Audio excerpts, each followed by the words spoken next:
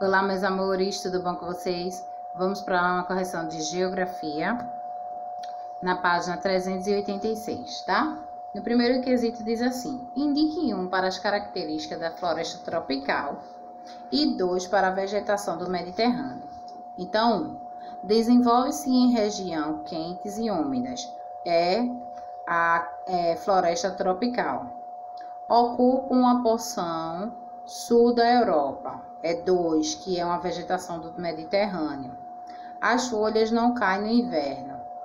Floresta tropical. 1. Um, ocupam o norte da África. 2, que é uma vegetação do Mediterrâneo.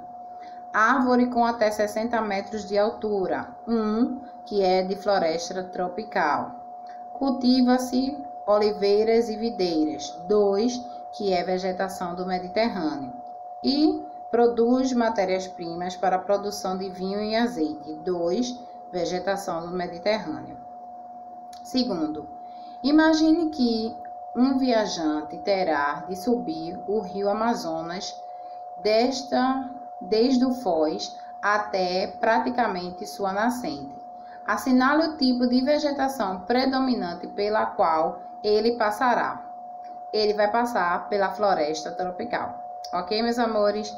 Beijos e até a nossa